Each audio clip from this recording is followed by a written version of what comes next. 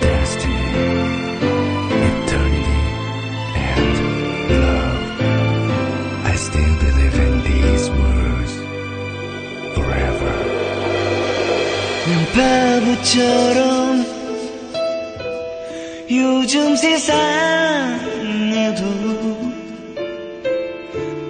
운명이라는 말을 믿어 그저 지쳐서 필요로 만나고